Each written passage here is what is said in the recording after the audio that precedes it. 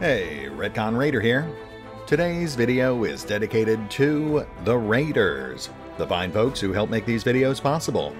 With special thanks to Revenant, The Nerd in Warpaint, Antonio Hernandez, Ice Storm Shadow, Michael Kahns, Nathan Welch Jr., and Valenrook. Thanks for your support, guys. That said, let's get started.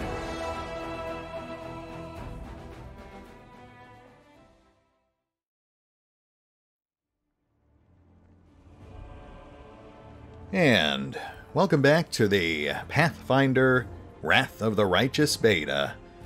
As we uh, pick up where we left off last time and continue exploring the thriving markets of Kenabres. Obviously, the uh, market has seen slightly better days. There appear to be a number of new road features, which are making navigation somewhat difficult. But we do seem to have found a nice crossing point for one of the um, features. So let's do that and uh, see what else the marketplace has to offer.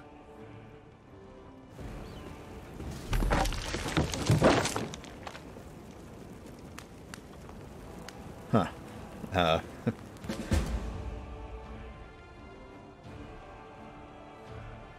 yeah, yeah, I, I guess that's serviceable.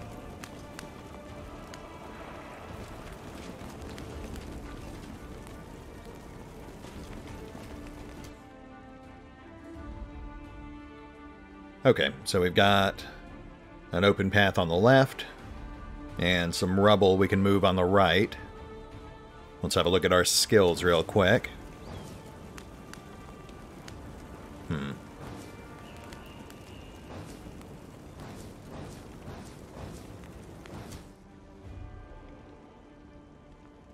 I think we'll avoid the rubble for now. That's a 50-50 shot, and I am not comfortable with that we do need to tread a bit lightly um, due to the unavoidable mishap with that summoning circle. Uh, apparently we're also under attack. I guess we'll take their word on that. Uh, let's push up, see if we can get eyes on.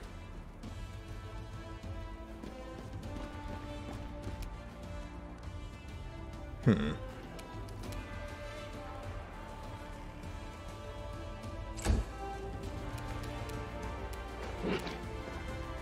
Alright, well, I guess we will um, push up a bit more aggressively.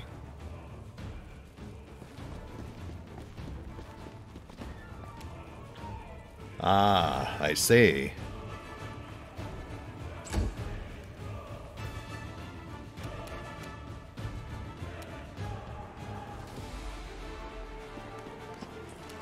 Oh, hello there.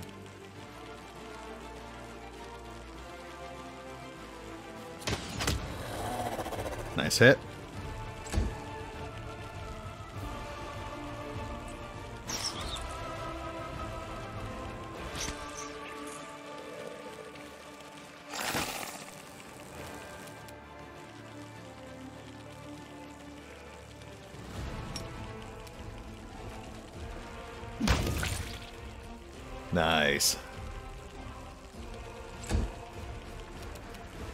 Fiendish or not, these are still just vermin.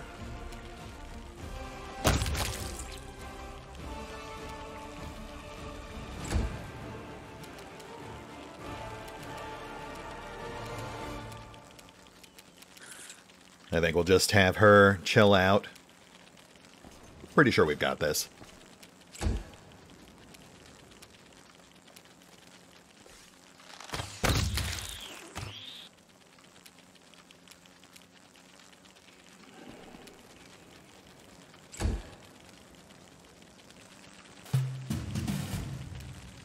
Um, hi there.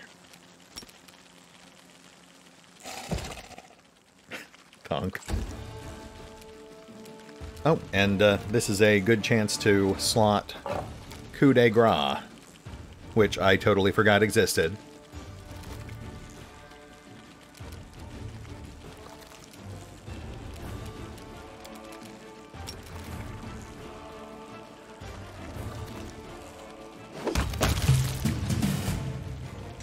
Yep, that seems about right. Coup de grace is, of course, a rule from the tabletop version, but um, while they did have it in Kingmaker, I don't think they actually added it in until the Year 1 edition, though I would have to double check that. And uh, it is not on your hotbar by default, so I just don't really think about it. Obviously, we'll uh, get some better use out of it now that we've got Ember tagging along.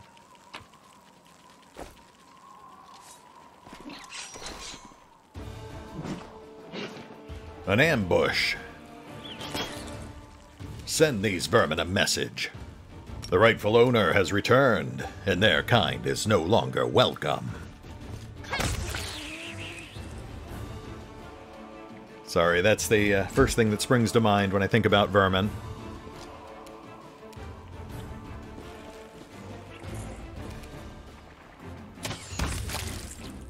Nice shot.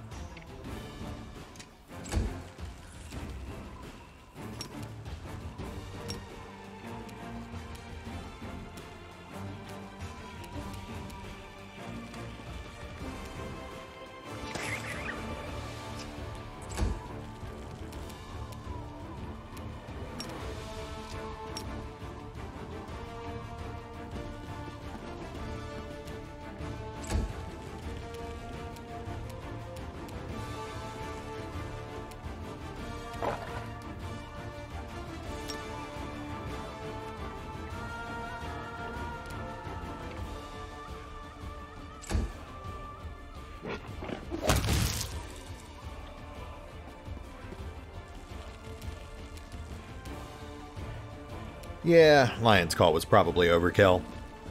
But you never know what's um, lurking just out of sight.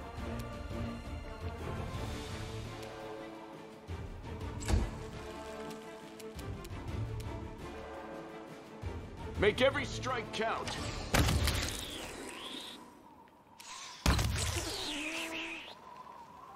Wow.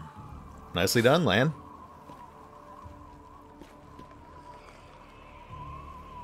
Guys, nice work. Don't believe in yourselves, believe in me who believes in you. Oh.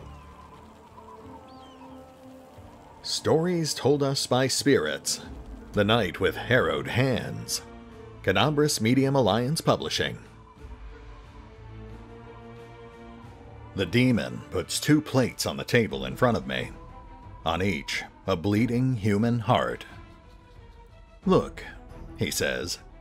The right one belongs to a noble and righteous man, a loyal servant of Iomedae. The left one is the heart of a murderer and a scoundrel.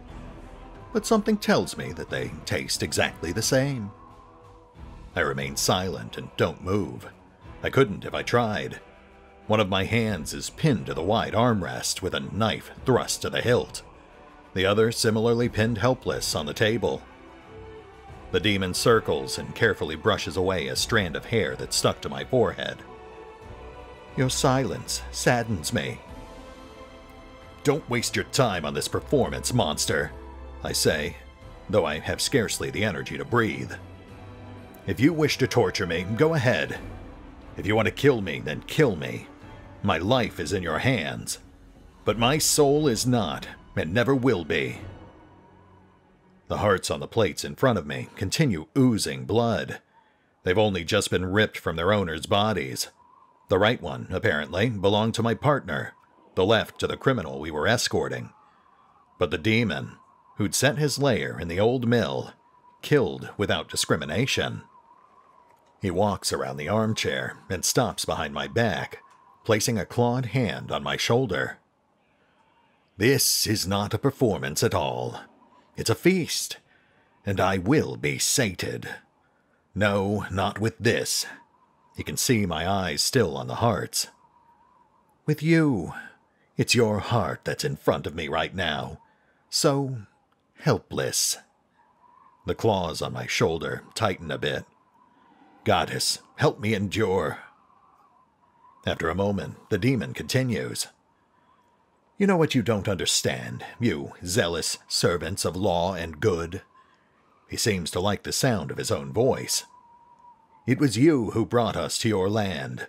The more of you who gather here at the edge of the world wound, so brave, burning with righteous wrath, the more like me will come from the abyss.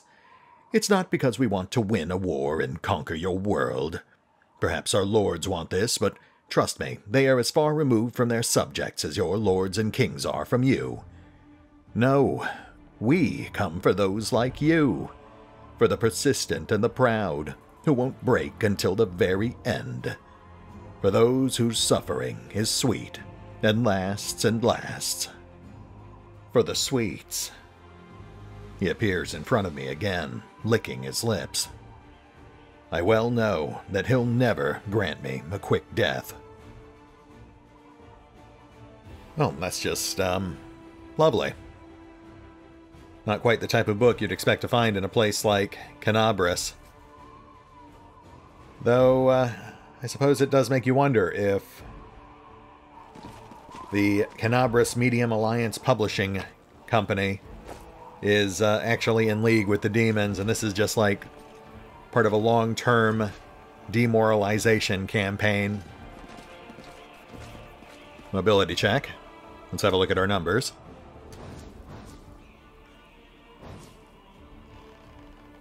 Huh. well, that's weird. Woljif is not trained in mobility he put those points into athletics instead, uh, which is an interesting choice. Not one I would have made, but sure, why not? We do have Lan, but even with him, we're still looking at a coin toss, which, considering that we're currently running on fumes, I am not comfortable with.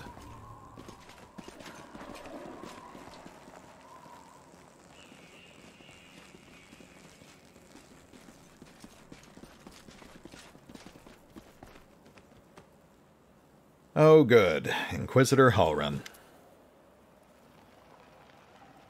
My beloved brother, I admire your zeal, of course, but would you not agree this is hardly the time to be standing guard over a hole that no one will ever emerge from? Or perhaps you're concerned that someone will decide to go for a nighttime stroll and will accidentally fall into it.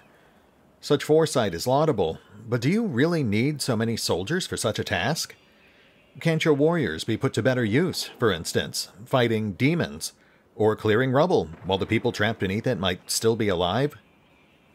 The face of this golden curled Aasimar is beautiful even by the standards of his kind, in whose vein runs the blood of angels. His melodious voice sounds cheerful, but bitter reproach simmers in his gaze.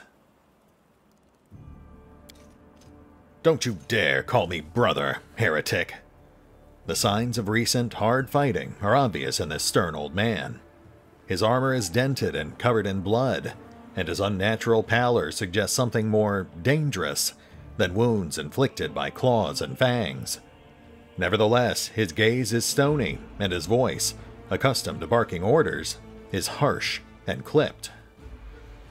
How dare you accuse me of doing nothing to protect this city? especially now when followers of your temple were caught committing treason. To my mind, you are no different than the demon worshippers. Those miscreants, those beasts that are digging under the city walls. Everyone knows, my dearest prelate, that in your zealous pursuit of order in the city, you have long since forgotten how to tell friend from foe and good from evil. That's what happened with my adepts, whose act of treason was a genuine attempt to save the city. And yet again, I am forced to repeat myself. While we are wasting time on pointless quarrels, people are dying under the rubble in our city.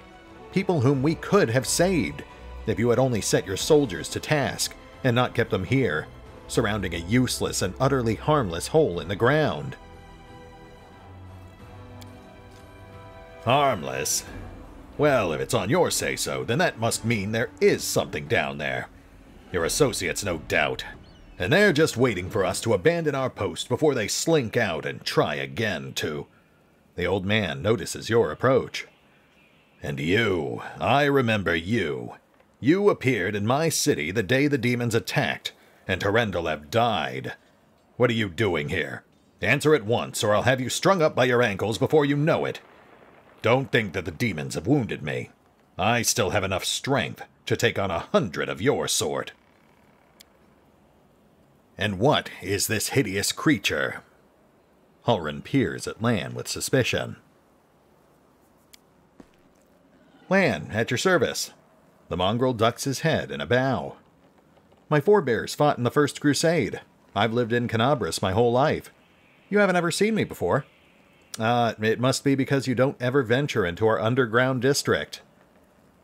We have been meaning to complain to the city authorities that our paving stones have been in need of repair for a long time. The First Crusade? So you're a mongrel?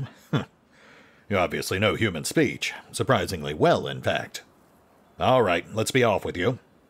The prelate looks at you. If he causes any trouble, I shall hold you responsible. Come to think of it, you still haven't told me who you are.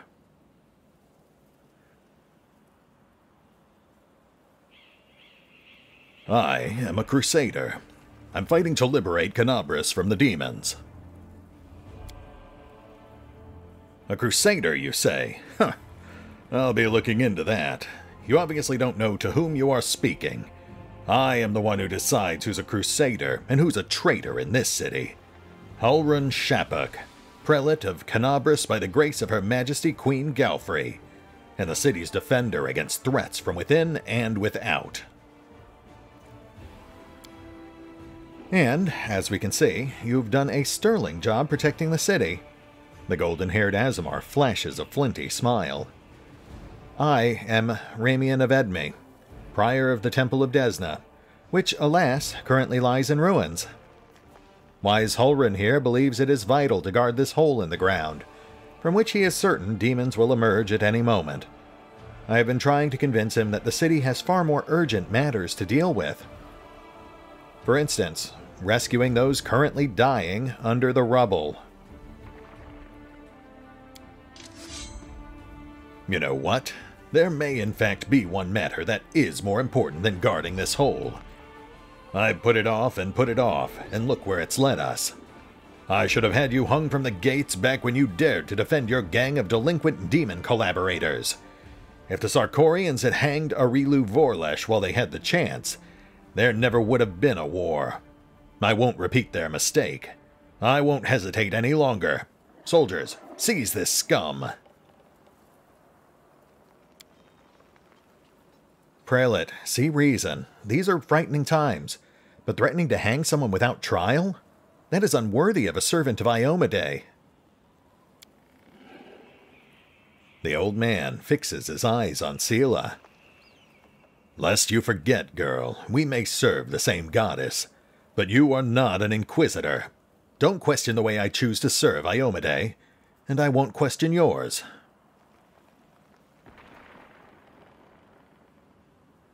What precisely are you accusing Ramien of, Inquisitor? Treason. Not long before the city was attacked, several followers from his temple tried to secretly access the Wardstone and perform an unknown ritual over it. Hulrun is trembling with fury. The Wardstone of Kenabres. The gift from Iomedae, the bringer of light, wrought by the hands of her herald, the first in the chain. And followers of that crazy runt of a goddess try to meddle with it using their magic after hearing a voice in their dreams. My soldiers almost had them caught when Ramien got in the way, allowing the traitors to go to ground. I made a mistake. I didn't have him locked in a cell and interrogated to within an inch of his life. And now the city lies in ruins. It's time to rectify that mistake. I've told you before, and I'll tell you again. My people foresaw the attack on the city. They knew the Wardstone already carried the seed of corruption within itself, and they were simply trying to heal it. I've heard similar claims before. Now, where was it? Ah, yes, from Staunton Vane, the traitor who brought down Drezen. The lessons of the past have taught us a great deal, and that is why I never believed you or your mob's lies, even for a second. And I was right.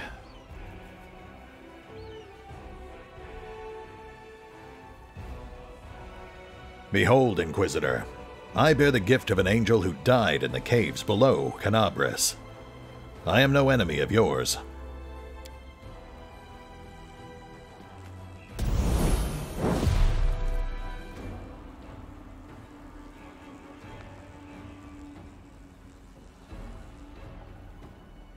Old man frowns and whispers something. A prayer or a spell? With each word, his face relaxes. You are telling the truth. The light in your hand was wrought by the power of heaven. I will keep an open mind with regard to you, stranger. And later, under less fractious circumstances, I would like to ask you about how you came to receive this gift. But that can wait. Now I must deal with this filth, once and for all. Oh boy. okay. So obviously we should we should intervene, but both of these responses seem a bit more extreme than I would like. But I suppose if we're going to be forced to pick sides, we should probably side with Ramien and uh, Desna. We are pursuing the path of the uh, Azata, after all, and that's pretty much Desna to a T. Also, um, you might not have noticed, but Hulrun is kind of a jackass, so. Don't lay a finger on him, or you'll have to answer to me. The Aasimar holds up his hands in a placating gesture. Stop. You are the defenders of what remains of Kenabres. Can't you think of anything better to do than be at each other's throats in the ruins of the city? Ramien looks at the prelate. You're a fool, Hulrun. You're a zealot and a murderer, but you're a fool first and foremost. I told you that the Wardstone was weakened. You wouldn't listen. I warned you that the city was going to be attacked. You shooed me away. The truth is that my young adepts were trying to save the Wardstone, and you stopped them. Of course, those truly responsible for this tragedy are the demons, but you have done nothing to prevent it. And now you would still rather kill an innocent person and perish yourself than admit that you were wrong. As always. With a wave of his wand, the Aasimar vanishes.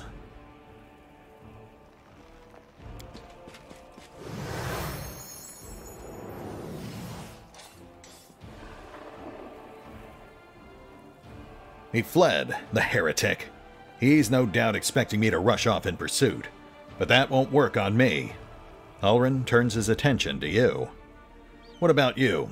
If you truly have been marked out for a gift from heaven, this is your chance to save the city. Go and bring back that filthy traitor. I am almost certain that he and his cronies were helping the demons, either knowingly or unknowingly. Their attempt to bewitch the Wardstone is clear proof. Ramien must be captured.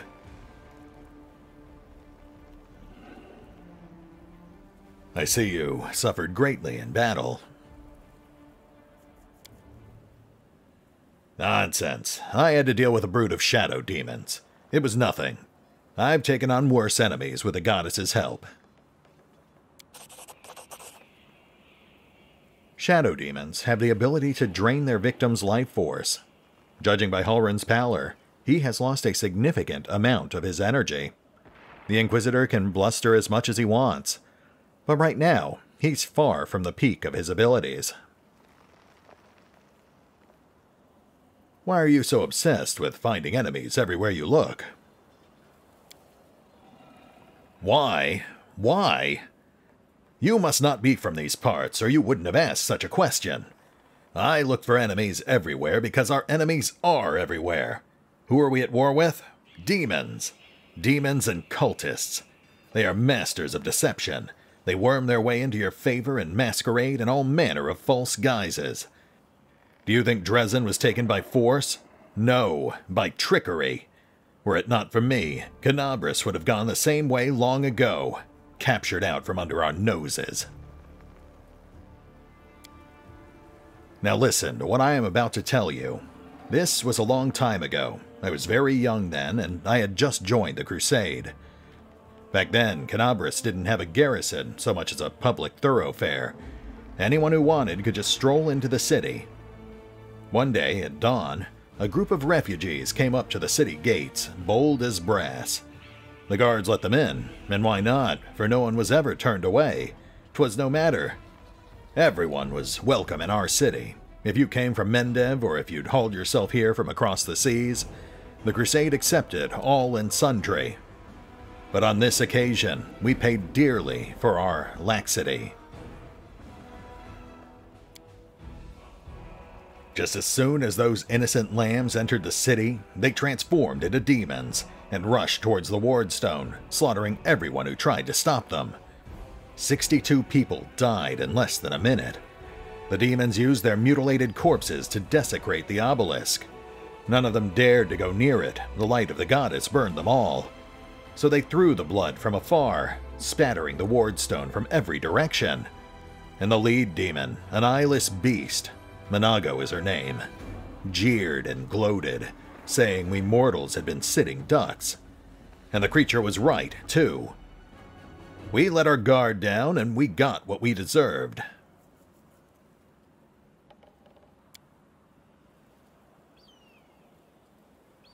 The bloodbath came to be known as the Red Morning Massacre, and it was burned into the townsfolk's memories. Since then, Kenabres has adopted different practices. Heretics, cultists, spies, all the rabble who coveted Areelu's glory, we drove them all out of the city. We haven't had any trouble here since. Many have come here, even the Balor Khorramzadeh, and they have all been sent straight back to where they came from, or else they were killed for their trouble. You see, Deskari himself had to crawl out of the abyss and come here, the goddess curse him, in order to break through our defenses. And what did he do? He left again. And we're still fighting. Now that is what vigilance and discipline can do. I mean, that's not the takeaway I would have had, but, um, sure. Ramien really warned you about the attack? Those crazed Desnans were always bursting into my office with their incoherent prophecies that came to them in their dreams. I won't lie, sometimes what they said did come to pass, but can we really rely on the woolly dreams of heretics over the cold hard facts of intelligence reports? Plenty of demons could have easily fooled them and, and whispered a treasonous plan in their dreams, and those lunatics would have been only too happy to listen. I mean, yeah, I can, uh, I can kind of see where he's coming from. This time, Mr. Curls for Brains came to me and declared that demons were about to attack the city, and that the Wardstone's power was diminished by some kind of contamination or taint. Iomedae forgive me for even repeating the words. After uttering such blasphemy, he should have been locked up along with his followers and interrogated. But instead, I simply increased the surveillance on them. And what next? My people caught them red handed, trying to attack the Wardstone with unknown magic. And not three days later, the demons attacked the city. There's an obvious connection between these events. Whether deliberately or under demonic influence, the Desnans played right into the hands of Deskari's hordes, and they almost left the city completely defenseless. Ramien covered for his people the whole time and helped them escape my guards. After that, what else can he be but a traitor and a heretic? Hmm. I don't know, man. Based on what we're hearing, Ramien was trying to tell him the same exact thing the storyteller was, and he just refused to believe either of them. There's nothing dangerous in this hole. You have no reason to guard it. You told me yourself that you received a light bringing gift from an angel who perished in the caves below our feet. It is no secret that those passages are teeming with dangerous creatures that could kill anyone, even a warrior of heaven. Demons and demonic offspring love roaming about underground. That's why I will be keeping an eye on this hole. If the beasts decide to attack from here, we'll be ready for them. Right, you have fun with that. Where can I find Ramien? How should I know? The weasel can't have gone far. He turned invisible. He's probably hunkered down in some hole like the traitorous little rat he is. And he'll be sitting, trembling, and waiting till he's dragged out of there. With the prelate after you, that uh, seems like the only sensible thing to do. It's what I'd do. I'm sure a lot of things sound sensible to you. And it works too. As you can see, I'm still alive. All right, Hulrun. I have to go. Go on then, if you have to. It would be good if you could return with the head of that scum. Ember peers intently at Hulrun. I remember you. When Father and I arrived in this city, you met us. Uh-oh. What is this gibberish? As if I have nothing better to do than arrange meetings with vagrants. But it's true. You and the other knights tied us to stakes and started lighting the bonfire. Father died, and then one of your knights changed his mind and pulled me from the flames. But then he died too. Don't you remember? If you were burned, then it was with good reason. You say some traitor helped you escape from the fire? That is a crime in itself, which means that you have been evading justice all these years. If it weren't for the invasion, I would review your case and see that your sentence was finally fulfilled. You're lucky that we have more important matters to deal with right now. He didn't look the way he does now, all wrinkled and gray. He was young, with a big mustache. Ember smiles broadly and draws a large bushy mustache in the air with her finger. He probably forgot all about me. It was a long time ago. But I do want to say one thing. I'm not cross with him. This knight is a true hero. He just really, really wanted to protect his city. Only he got all mixed up about who was good and who was evil. Hmm. Not much point in trying to shame Hulrun. In fact, that might just make things worse. You forgive him after what he did to you? He thought he was doing what was right. How do you know? Maybe you've done something thinking it was a good thing, but you were really doing a bad thing that hurt someone? But what if. What if I've done the same thing? You can't get angry at people for making mistakes when you might be no better than them. Fascinating. Ember is a very intriguing character. I'm really honestly not sure what to make of her.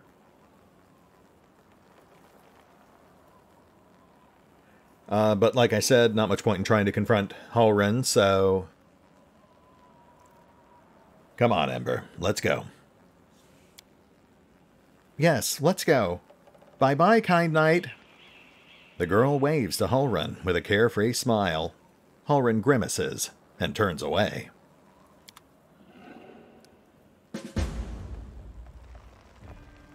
Interesting. Very interesting.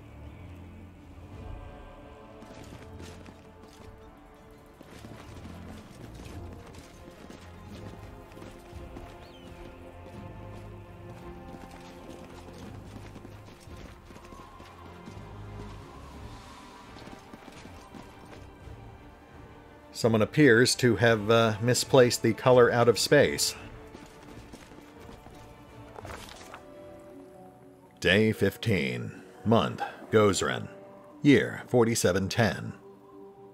The demon invasion transformed all of Kenabres into one great battlefield, but nowhere in the city suffered as much as this square. This place saw a clash of titans, the demon lord Deskari leading his hordes from the abyss, and the dragon Terendelev, the mightiest of the city's defenders, and one of the first to fall. The scene of destruction leaves no doubt as to the battle's outcome. A skilled pathfinder could recreate the course of the battle, moment by moment, simply by looking at the ruins. From the chimneys torn down by powerful wings in a sharp dive, to the bloody tracks left behind when the demon dragged away the noble reptile's broken body but it is no hypothetical pathfinder gazing upon the ruins. It is Creed Ironfang, and he is not alone. The shadow of a strange, barely perceptible presence lingers over this place. Like a gaze untethered from any observer, this mysterious force, unknown to mortal kind, silently assesses, judges, and seeks a better way. In an instant, Creed Ironfang is vested with this power and looks at the world with its eyes. The past, present, and future stand before him as a unified whole, an unmoving, multifaceted crystal that would be beautiful were it not for the fractures, blemishes, and flecks marring its splendor. What past does he see? In the past exists the one who wielded this gaze in life, although the one and life are in opposite terms for aeons, the supernatural embodiments of cosmic balance. Rather than who or what, a better word for these entities is how. This aeon appeared from outside this world, from the great beyond, to put an end to the intermingling of the planes and destroy the world wound, the chasm disrupting the order of the multiverse. Alas, the visitor from beyond proved too weak for the battle they came to fight. They even failed to finish casting the spell that would have sent Deskari back to the abyss. With one swing of his scythe, the Demon Lord cut the Aeon down. What present does he see? Ruins, blood, corpses. None of this perturbs the Aeon's dispassionate gaze. The living are alive, the dead will be judged by Pharasma. All is as it should be. But the demons circling in the sky or prowling through the street create a jarring juxtaposition like splashes of blood red ink on a restrained pencil sketch. They should not be here. The world of mortals is for mortals. The demon's place is in the demon world. How sublime the world would be if everything in it knew its place. But even the demons aren't as abhorrent as the sharp edged, unassuming crystal, languishing in the dirt among the bricks and smashed cobblestones. No mortal would notice it but to the Aeon's eyes, its mere existence is an outrage against universal laws. If the Aeon still existed, they would not stop until the crystal was unmade. But the Aeon is gone, and only their gaze remains. Creed Ironfang picks the crystal up out of the dirt and stows it in his pocket. He is mortal, which means he has the power to decide what to do with it. What future does he see? Good and evil, chaos and order, everything is in its lawful place in the multiverse, and is no longer trespassing where it does not belong. Nothing is disrupting the smooth and steady current of the river of souls from life into death, and back to life again. The crystal of reality, rid of its flaws, is now perfect and the aeons withdraw to eternally admire its beauty, which will never be threatened again. After allowing the hero to view the world through their eyes, the little that remained of the destroyed Aeon, is killed even appropriate here for an entity that is so removed from life and death as we understand them? Used up its last vestiges of energy now they are ready to disperse into nothingness, unless someone decides to preserve the Aeon within themselves. Will the hero take on this power so that he may again look at the world through another's eyes? Or will he allow it to vanish?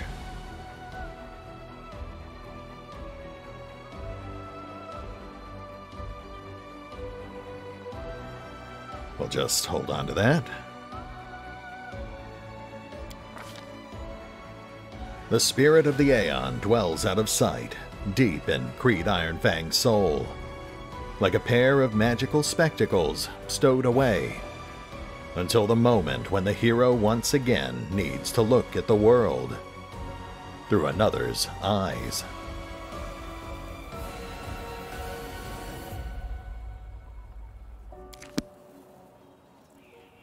Wow, that uh, it almost makes me sad that we're not doing the Aeon's Path. Though I do like to keep my options open, so uh, we'll just hold on to this for now. Though obviously it would be uh, significantly more useful if we were in fact a an offensive caster.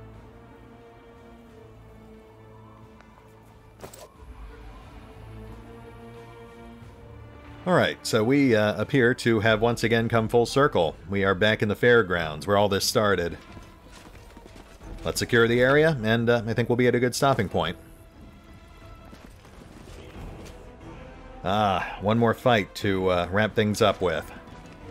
That's good. It's a nice uh, palate cleanser between all these giant narrative events. Always be ready for the worst. I'm here. Where else would I be? I win! Goodness. Critical sneak attack. And yet, still somehow disappointing, because it did not immediately explode over a 10 foot radius.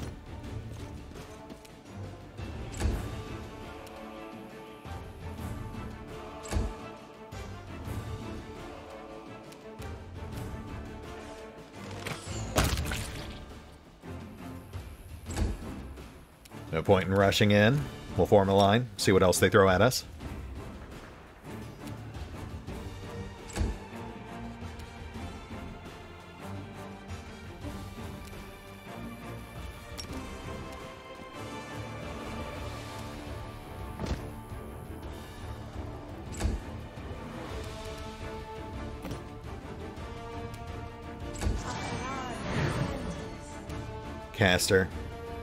Oh, cleric. Moving up.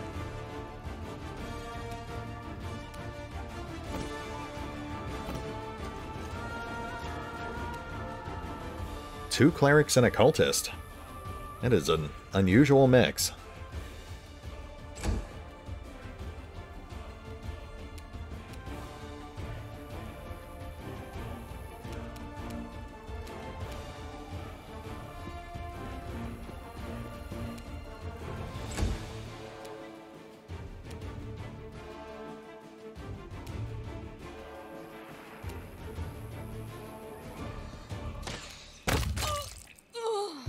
Nice.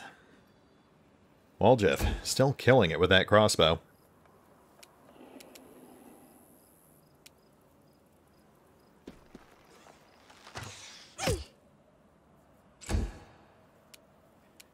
Lann, slightly less impressive.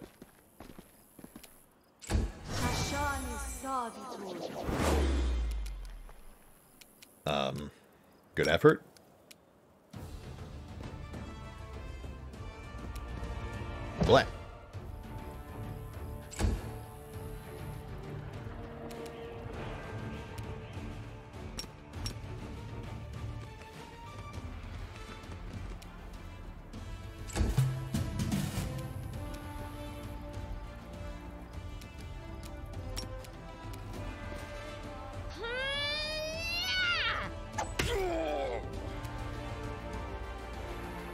Quite a wind-up for 4 damage.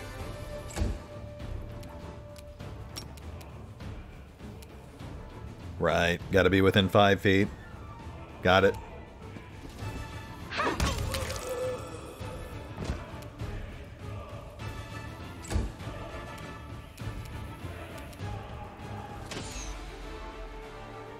Oh, Woljif with a rare whiff. Uh, Lann, here's your shot.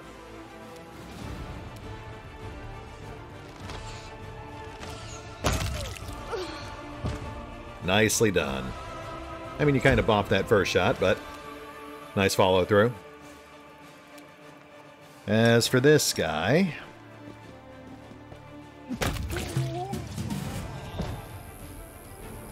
That's fine. He didn't really need that spine anyway.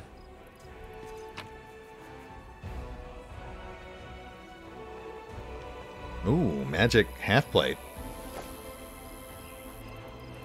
Eh, plus one. Now, sadly, as much as I would like to slap that on Creed, because I think that would actually boost his AC to 26, um, we cannot do that without reducing his movement to 15, which, as we saw in those early episodes, was just too slow for a frontline fighter. It's weird because the armor itself doesn't actually slow him down. It's the medium encumbrance that's doing it. Obviously, that won't be an issue once uh, he can just ride Kaiser around, or once we start boosting his strength. But until then, I am afraid that armor will be going to Seelah. Sorry, Creed. It's hard to believe that this place recently held a bustling and festive market.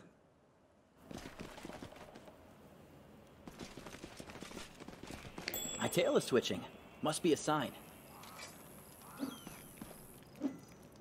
Judging by the size of the bloodstain, the body of something truly enormous was dragged over these stones. Terendelev, most likely. I imagine the intent is that we're supposed to follow that blood trail.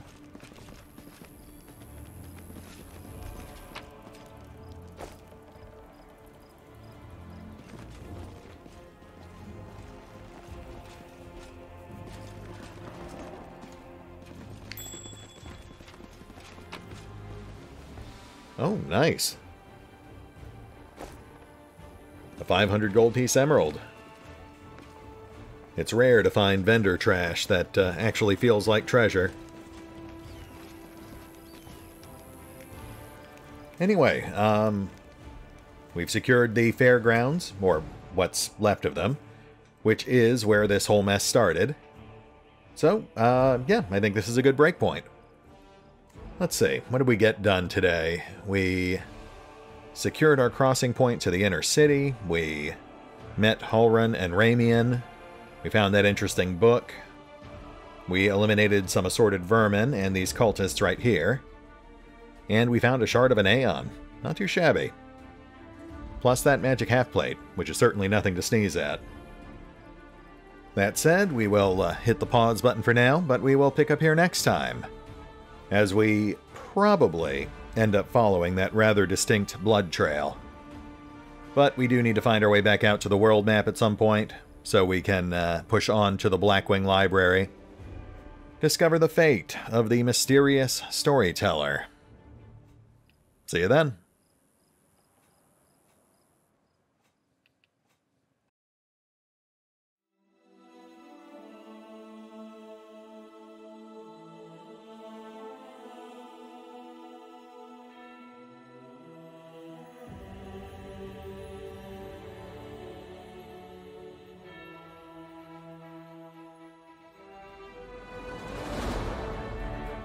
Oh, and remember, although I do love playing Pathfinder Wrath of the Righteous, you can find out more about the game by visiting the official website, the official YouTube and Twitch channels, the official social media feeds, or the official store pages. As always, links are in the description.